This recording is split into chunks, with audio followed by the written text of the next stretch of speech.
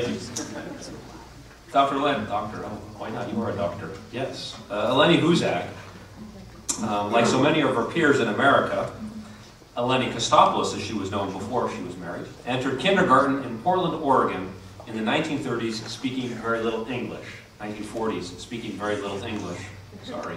Uh, with the constant encouragement from her immigrant parents, Eleni excelled in school. Her intellectual ability and immigrant work ethic resulted in her being accepted at the University of Chicago at the age of 16.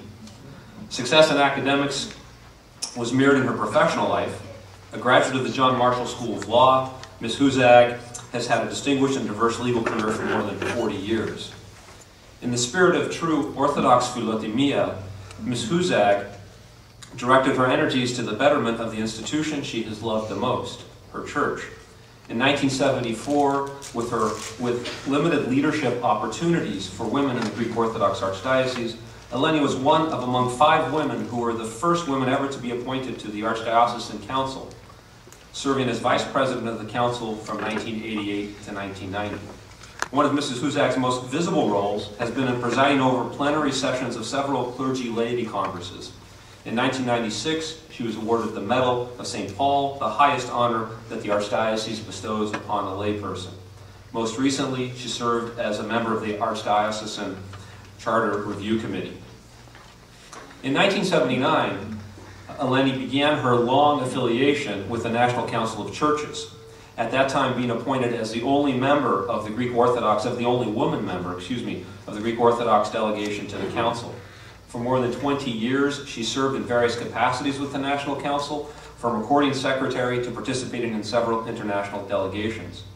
Her many years of involvement with the Council culminated with her appointment in 2002 as the 21st President of the National Council of Churches. She is the first Orthodox woman, lay, Orthodox layperson and woman to become NCC President and one of only five laypersons to serve as President in the Council's history.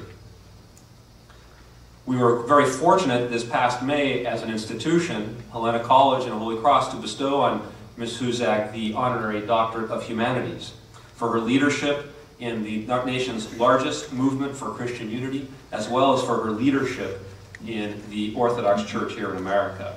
Uh, the committee uh, that put together tonight's event and the weekend's event thought long and hard about who we would want to ask to open up our session. And Eleni was on the top of our list for several reasons, as I've already noted, but most in particularly because she's a person who has, I think, not only the heartbeat of the Archdiocese, but also the heartbeat of America. And Eleni, we welcome you here this evening. Thank you for being back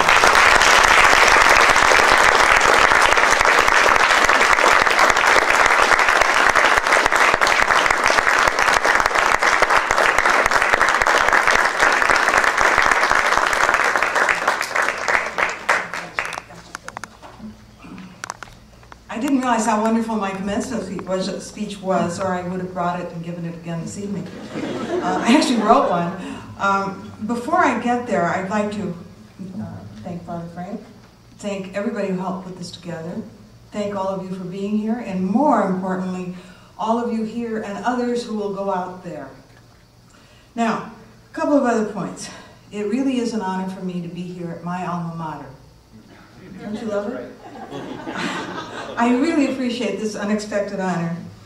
And I will autograph uh, copies of the Orthodox Observer where my picture was on the front page. Uh, but you have to bring your own copy.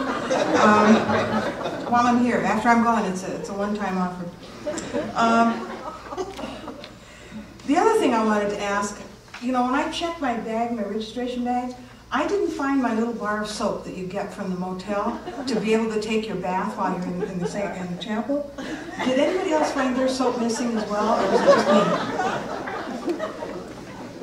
me? Okay. My remarks tonight are going to be in two parts, because a father thought I should recite a few of my experiences, so that's the good part. So please stay awake through the first part. Uh, the first part I'm calling the offeror and the offeree. Uh, according to the program, the theme of this institute reflects the focus of the 2002 Clergy Laity Congress, offering orthodoxy to contemporary America. And of course includes lectures, workshops, examine theological, liturgical, scriptural, pastoral, musical, administrative, all kinds of issues, but this is the underlying theme. Now, if this were a legal transaction, and you notice where I'm going here, we would describe the church as the offeror, and those to whom we're making the offer as the offeree. And I will use these terms during the course of this part of my remarks for the purpose of clarity. Now, because it's a gift, which is the subject of the offer, it is also understood that the offeree need not accept it. Now, before we consider that aspect of this transaction, let's explore the nature of the gift. Simply put, the Orthodox Church offers an understanding of God's reality which enables us to become godlike. In other words, to exist in a continuous state of being saved. Because salvation is not an instant, add water, one time occurrence, but rather a lifetime of constant synergistic endeavor in the wholeness of creation. This, of course, is the greatest gift of all. Now we might wonder who are the likely recipients of this gift. Because we're dealing with contemporary America, we must examine the nature of our country in its many diversities in order to understand how we need to make our offer known and understood. We can't just deal with our own church community or the Greek American aspect of our lives. We need to see all of contemporary America as a potential offeree for our offer. However, it seems logical to start with the offerors, persons we do know within our own archdiocese who have the gift of understanding our faith and also to be able to gift it to others. This seminary and this institute are some of our tools for the preparation of our people who will be offering our faith. In fact, for your preparation. All of us here are offerors. While we do not proselytize, we do receive those who come to us. And increasingly, more and more are coming to receive our gift with little or no effort on our part. Good examples of this is our multitude of church festivals each year, which frequently result in festival converts. I first heard that a few years ago at the Diocesan Assembly. I what are those? Ah, now we know. Uh, does anybody not know what that means? You're in much better shape than I. Uh, and of course, our ever increasing marriages between Orthodox and other Christian traditions, and even with those of other faith backgrounds. In all of these instances, there was little or no proactive effort on our part to offer our faith to contemporary America, but rather many, many instances of individuals seeking and finding on their own. In considering the offerees, there are in our archdiocese many baptized but unchurched people who are part of the body of our church, whether they understand this connection or not. They have received the gift, but have chosen not to open it. We must reach them and inspire them to unwrap it. Those who are not Orthodox in America, who are seeking and finding parts of the truth in other places, and moving from one religious experience to another, are many. And finally, they give up in desperation, unaware of the gift that we offer.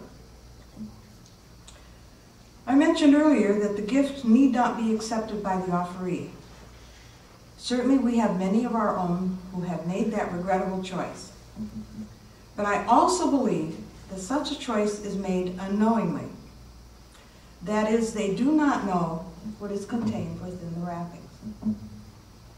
And for those who may be unaware, the opportunity to know of our gift must first be offered by us, that opportunity.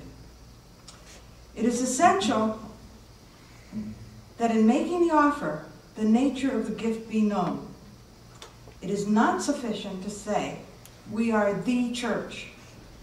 Our services are both ancient and relevant and exceedingly beautiful, and so forth.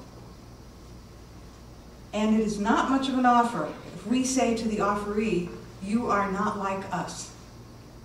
So as to make being like us a condition of receiving the gift, acting as the Pharisee in relation to the publican.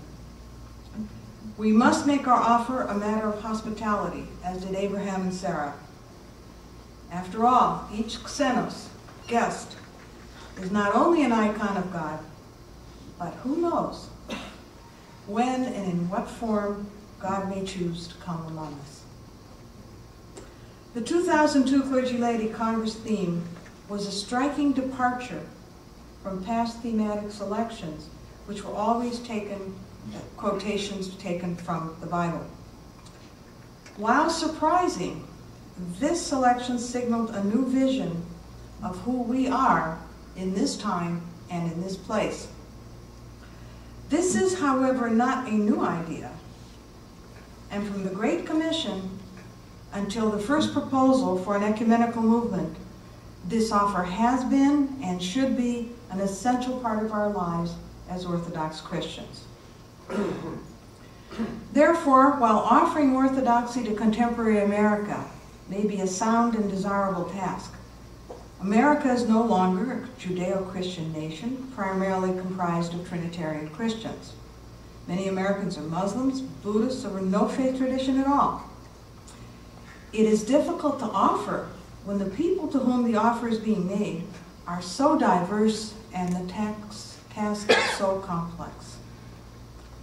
But at the same time, this is an unusual time in history in that all of the diverse Christian traditions are present in the same place and are speaking a common secular language. Our presence in this environment is both a concern and an opportunity. A concern because we do not wish to become the other, and an opportunity because we offer much to the other. Not to mention the fact that there's much we can learn as well. We, each of us, have an obligation to heed the directive of our Lord, to go therefore and make disciples of all nations, teaching them to observe all that I have commanded you. And lo, I am with you always to the close of the ages. This cannot be accomplished if we do not share our faith, our vision, our gift with others. We cannot send our people to offer without a clear understanding of what is being offered and how to offer in ways that are contextually appropriate. We would prefer not to, we would prefer not to learn by doing, which system also includes trial and error. This tri-level institute seeks to accomplish the foundational structure for those who are committed to the offering of our faith to diverse peoples in diverse ways in contemporary America. At this point, I think I've basically tried to put before you what we're all about and who we are talking to and what environment we are dealing in. Father Frank asked me to then comment on some of my experiences because I can assure you I did not start out my career studying theology and even imagining that I would be offering our faith to anybody other than my son and trying to convince my husband to convert. That was sort of my frame of reference at that point in my life. And it's fascinating what happens to you when you are put in a diverse environment, which is an environment based on the Christian faith, because that's what the National Council of Churches is. These are all Christian churches coming to, together to see what we can accomplish together. And as one learns about each other, you see, I had to go look and see what my faith was about and understand my theology, understand my church, understand my traditions in order to be able to share them with others. And this is something all of us can do. We don't have to be graduates of the seminary. There are plenty of people we can ask. There are many, many sources, many, many more resources now than there were when I first started in this. And as, uh, as you heard Archbishop Iakovos first sent me to the National Council of Churches in 1979. Uh, I thought at the time that he was sending me there in the hope of keeping me from aggravating him on the Archdiocese Council. Uh, the, the mistake he made was leaving me on the council because then I could still aggravate it. At the same time, it was rather interesting in those days. Uh, Metropolitan Maximus, who was then Bishop Maximus, was appointed the head of our delegation. And Bishop Demetrius, whose maiden name was Jim Cushell, was also there as a proxy for the Archbishop. We didn't really know the other Orthodox, and we looked at the list, you know, of the daily events, and each of the denominations was having a denominational dinner. And so I asked one of my Methodist friends, what do you all do there? So we discussed the agenda, and we discussed what we're going to do, and questions people have, and so on. That sounds like a pretty good idea. So Bishop Maximus and I sat down and said, when the Orthodox meeting? Well, we didn't know, because we didn't know anything. Why don't we set up a meeting? So I actually, this is true, wrote little hand notes, handwritten notes, and went around the, the big meeting room, because we had signed, you know, what church you are, Greek Orthodox Archdiocese, you know, Armenian Archdiocese, uh, the OCA, Methodist, Lutheran, Presbyterian, Episcopal, all that. And anybody who looked like Orthodox, I put a little note in front of them. Eat us for lunch. So about seven people showed up. We all looked at each other and said, ah, hi, how are you? And uh, we, we ought to get together. The next time we had the assembly, because there were two a year in those years, we had an actual dinner of actual Orthodox people who were there. This was incredible. Who are you? I don't know. Uh, really, this was very strange. Um, particularly for those of us who aren't in the ecumenical hotbed of New York, where everybody knows everybody. And even in those days, not everybody did, truthfully. What made it interesting was it was an Eastern and Oriental Orthodox caucus. This is now 1979, 1980. As we speak now, besides what's gone on in the international levels between the Oriental and uh, Eastern churches, uh, Scoba and Scooch are speaking to each other. And where do you think things like this start? They start in a neutral, non-threatening environment by people who are committed to us speaking to each other. And one of the first places we ought to be speaking to each other at is when we speak to our other Orthodox friends. Meanwhile, one of the most interesting experiences I had, which was very strange and at the same time caused great pain and great stress, was in the early 1980s when the Universal Fellowship of Metropolitan Community Churches applied for membership in the National Council of Churches. Mm-hmm. For those of you who are not familiar, it is a church that is was founded on the basis of the gay and lesbian exclusion from other churches, and so they formed their own denomination and applied for membership. This caused enormous controversy and enormous difficulty. At one point, they established a theological commission to discuss the theology behind the formation of this church so it would be clear for everybody. And I get a notice that I am now on this theological commission. yeah, that didn't make much sense to me, but it turned out it was because they didn't have enough women.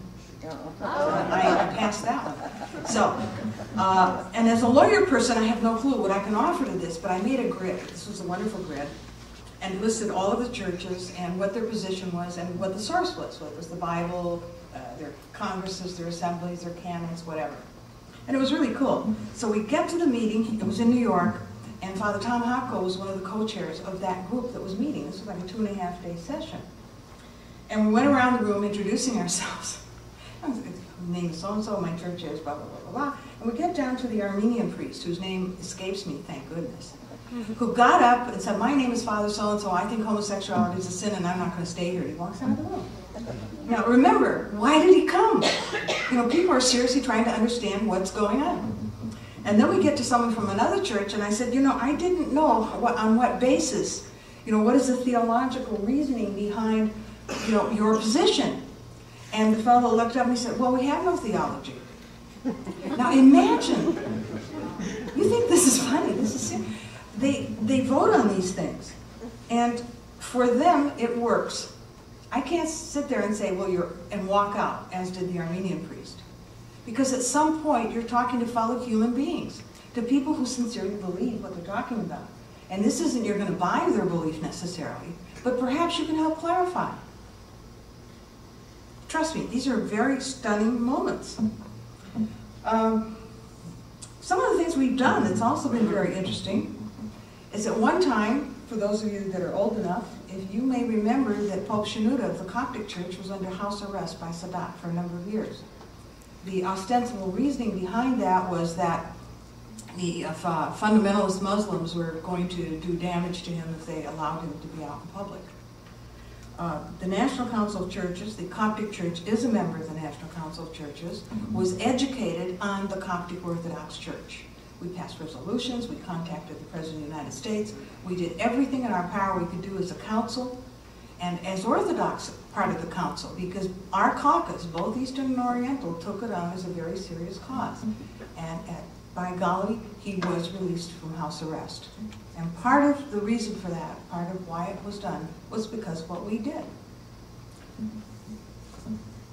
Something else you don't know. At that time, early 80s, Bob Grimley, Bishop Bob Grimley, was the head of the Lutheran Church in America. In conjunction with the Coptic situation, we were also telling him and others about the situation at the Ecumenical Patriarchate. He became so interested by what was happening he made sure that he took a delegation of his bishops from the Lutheran Church to visit the patriarch, who was Demetrius at that time. Came back and said, that is the worst situation. We can't allow that to take place. We are going to make this one of our priorities in the Lutheran Church in America. And the Lutheran Church moved its headquarters to Chicago, as you may know.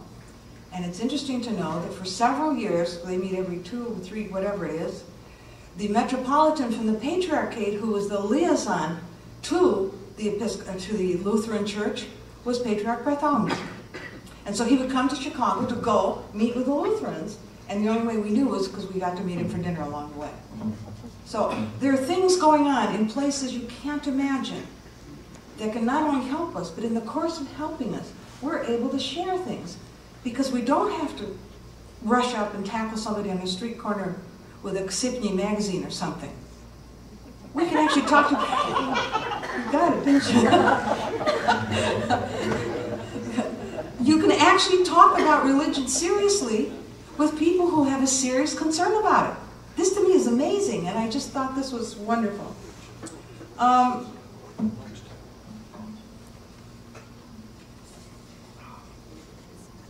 as a matter of fact, one of the first delegations was when I was recording secretary of the NCC. We went to the Middle East. It was right after Beirut fell.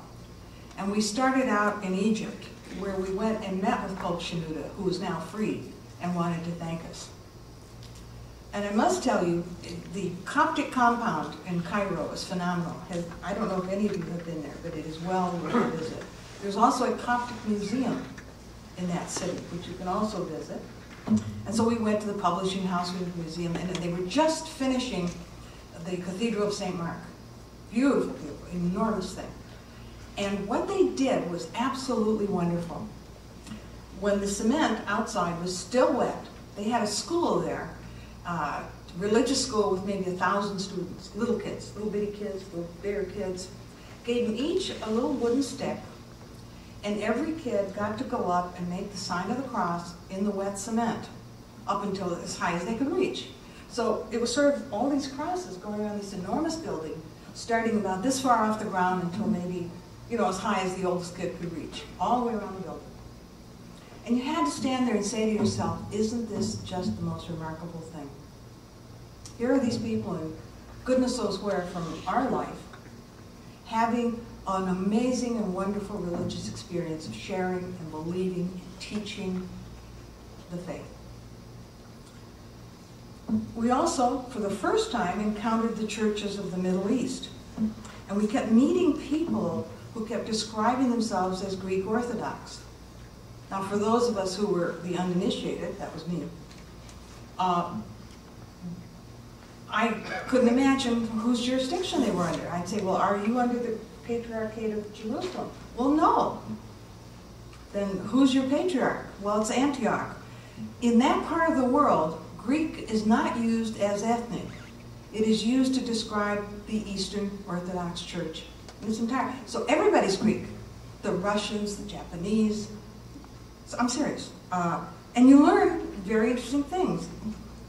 We met leader, leaders of Israel, uh, leaders of Syria.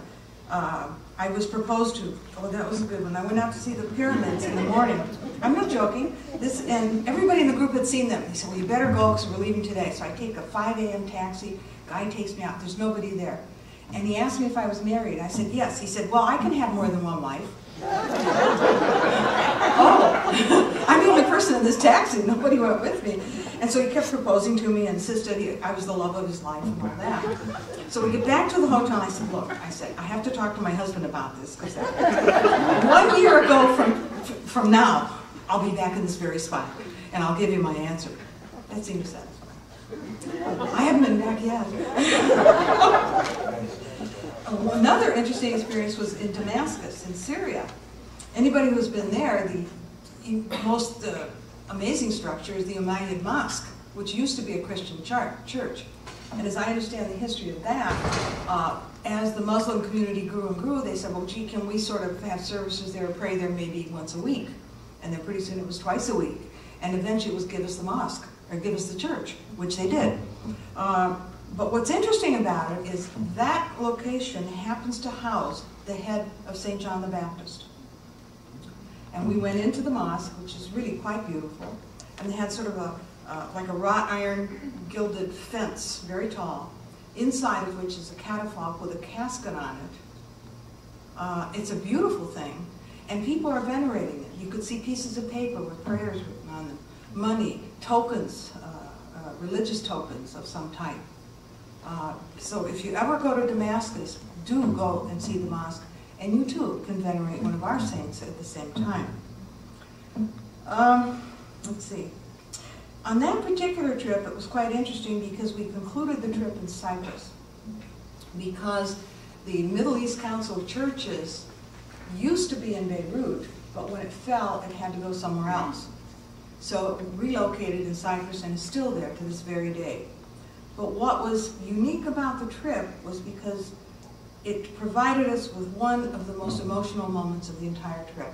We met with the Committee of the Missing, who had not been seen or heard from since 1974 and the invasion of the Turkish military. Uh, this really just stopped everybody cold. Uh, it was an, an incredible experience. And if you've ever, and you don't want to be, in a position where you're sitting in a room watching people tell you how their loved ones are completely disappeared and nobody knows. Uh, it's very, very painful. Everybody in our group, we're about 10 of us, were in tears. Um, another thing I should tell you is when you go to that part of the world, don't drink the water. And I didn't realize in Syria that the water includes the ice cubes. So I missed Jordan entirely. it was only one day in Jordan, but I missed it all. Now, another interesting experience, and, and this has to do with offering your faith, you see. Uh, the United Methodist Church has a Women's Board of Global Ministry. The Women's Board of the United Methodist Church in the early 80s had an annual budget of $16 million, just the Women's Board. And so they had projects each year. And that particular year, their project was orthodoxy. So their executive board went off to the Middle East to see the Orthodox churches up close and personal and took movies.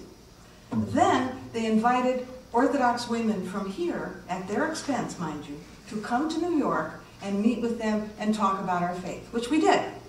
And so we had a number of the graduates of our seminary, also St. Vladimir's, and there we were. So we get in the room, they say, and welcome and all this stuff, and this is our project. And we want to show you a movie about the hierarchs we met in the Middle East. And we thought, this is really wonderful. This is so cool. And they put up the movie. Every single hierarch was from an Oriental church. An Arab, a Copt, I mean, I'm sorry, Armenian, a Copt, Syrian. Not a single one was from the Eastern Orthodox world. And so they stopped the movie. They're, you know, they're all happy because they've now shown us our hierarchs, and we all sat there and we said, well, those were the wrong hierarchs. Which, of course, gave us several hours of discussion on the history of our church. which the bottom line in that instance turned out to be that everybody who spoke Greek stayed and those who didn't left. I think that sums up the Council of Chalcedon as we understand it. Okay. Um, also had another interesting experience, which wasn't quite as pleasant, but was something that you will probably not do in the course of your lives.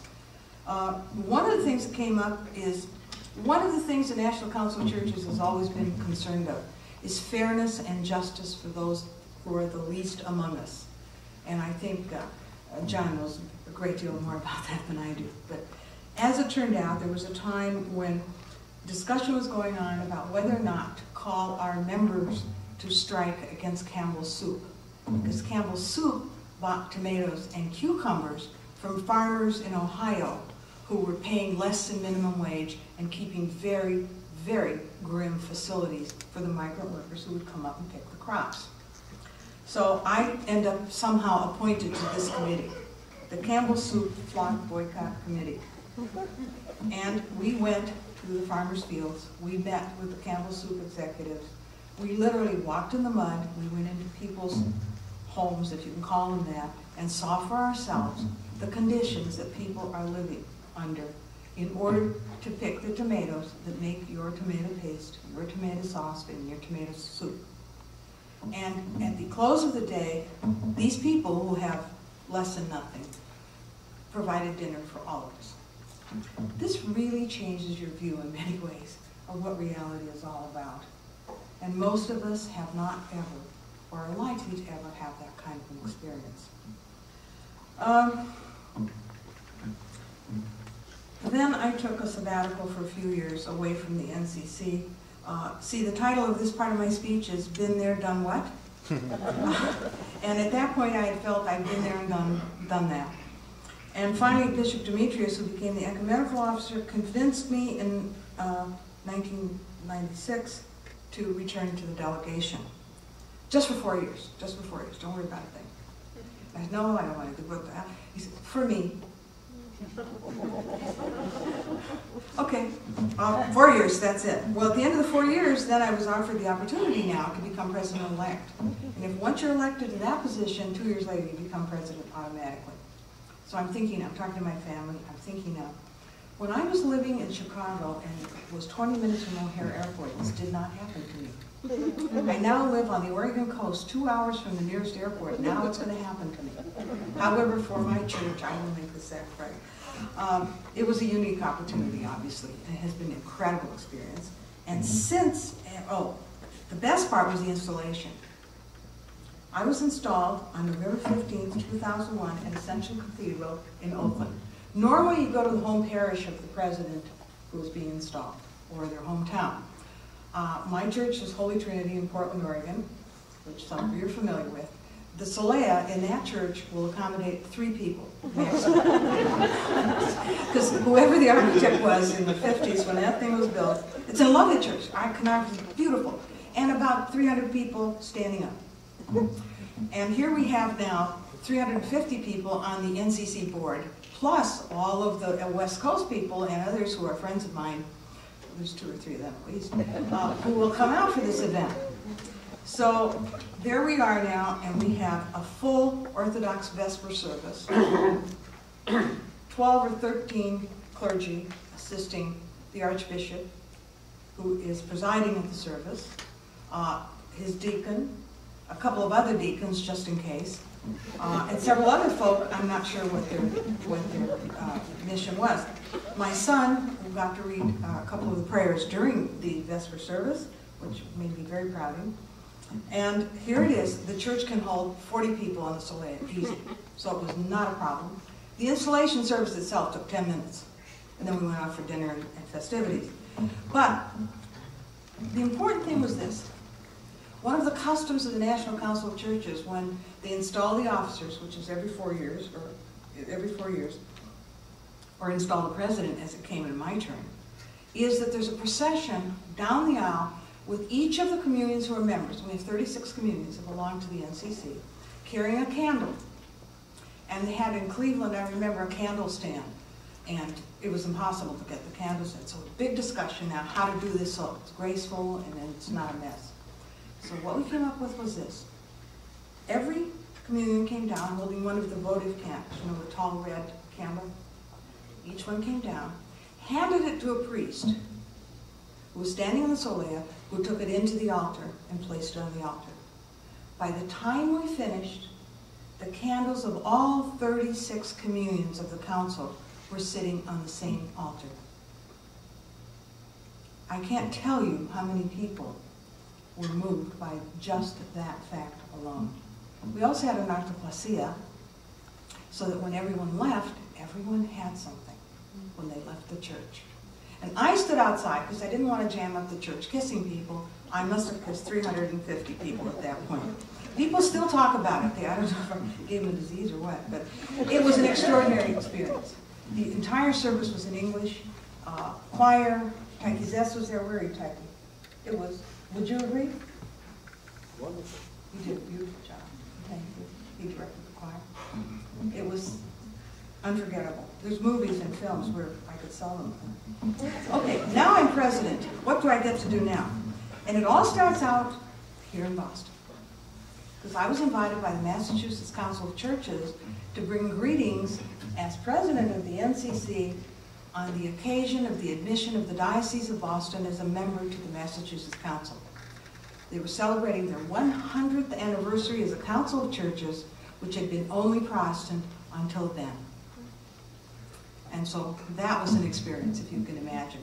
To be in that setting and also not only be president of the NCC, but an Orthodox president of the NCC. Then I get to go to Cuba.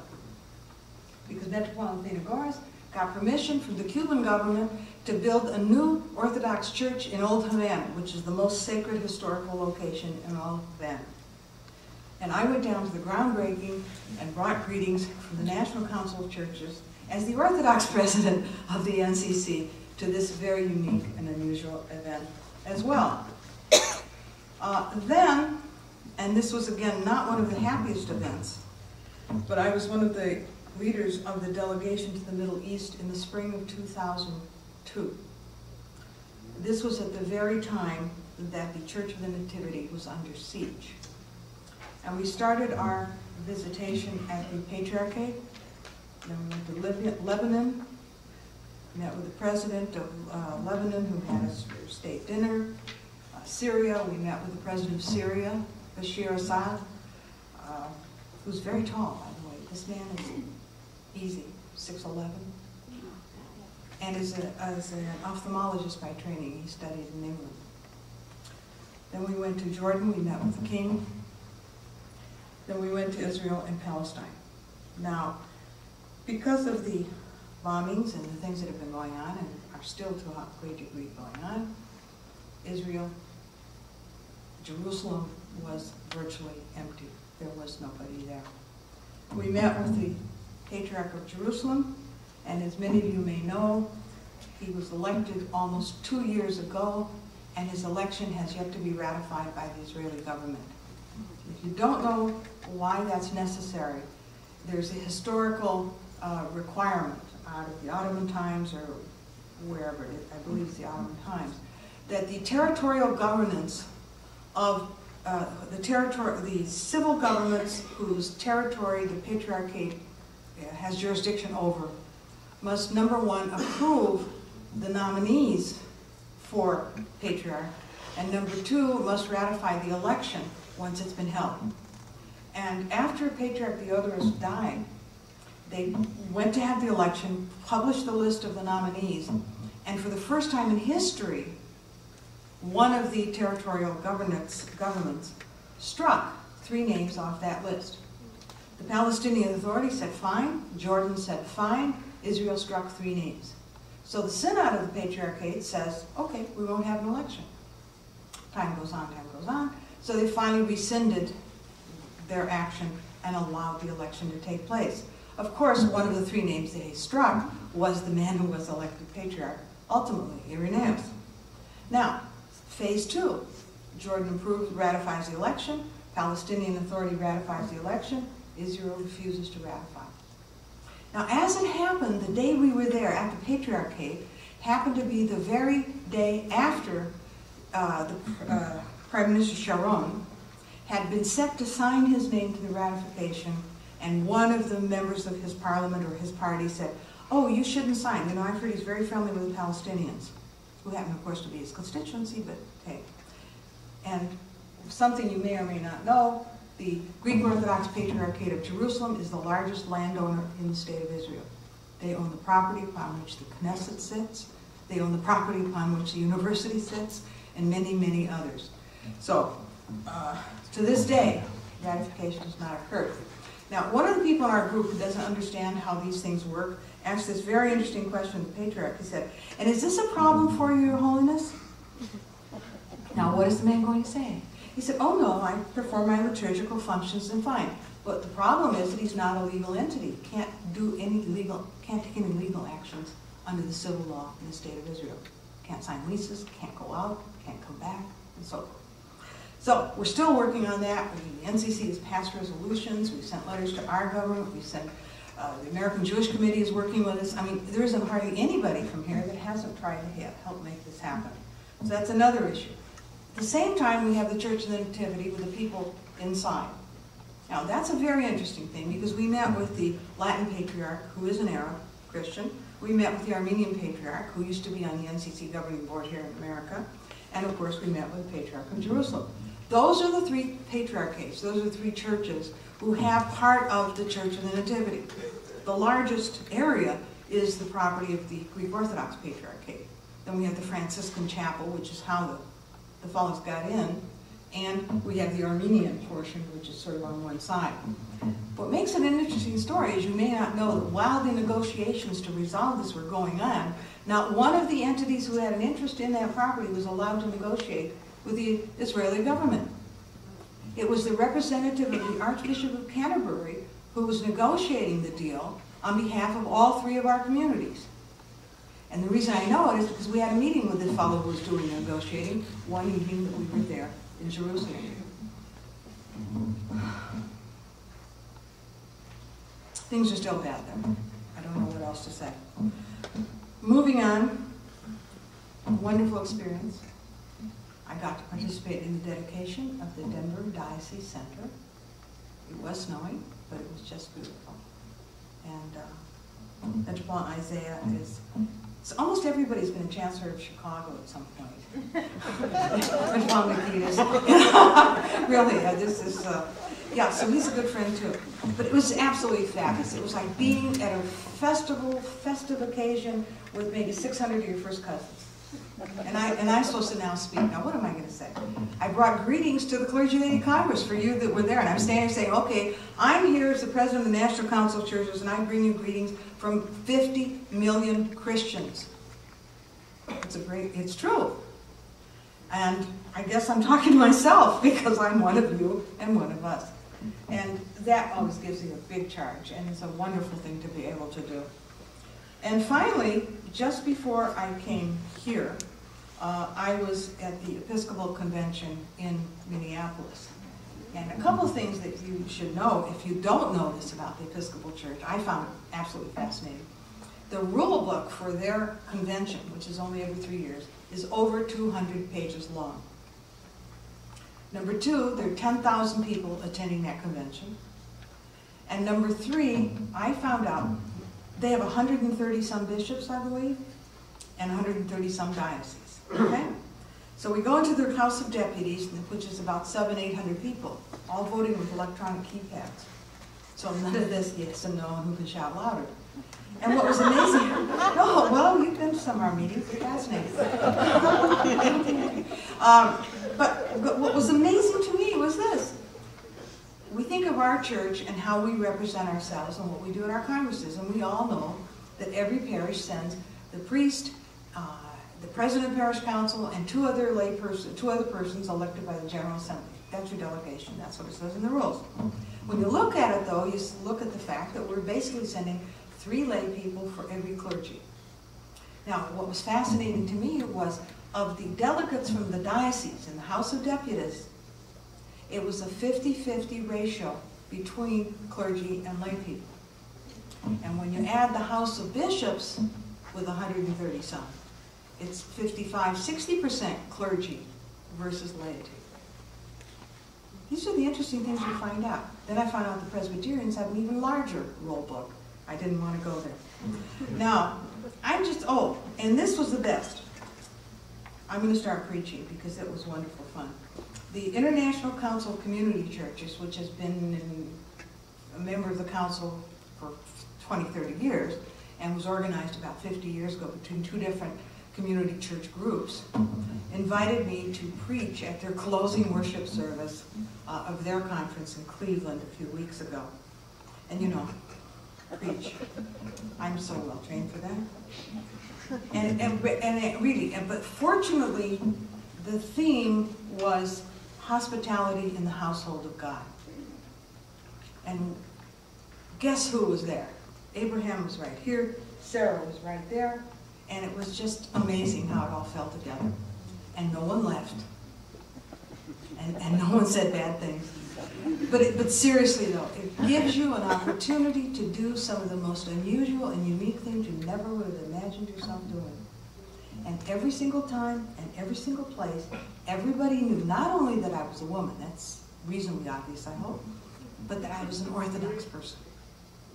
And the questions you get from all of this and all these places and where you are is an opportunity to share, an opportunity to make people know, hey, I, boy, do I have a package for you right here. And here's some of the wrapping, and, and if you look in here, you can see what some of it is and so on. And I want to say that part of what I've done in the church over these years, I think in part is because I'm a woman. And as such, had these opportunities because, like the Theological Commission, where the Armenian priest left, I would never have been in that kind of environment. They didn't need a woman in that moment, and preferably an Orthodox, because there wasn't another one other than Makoche. And in so many instances. So this is telling me something very important.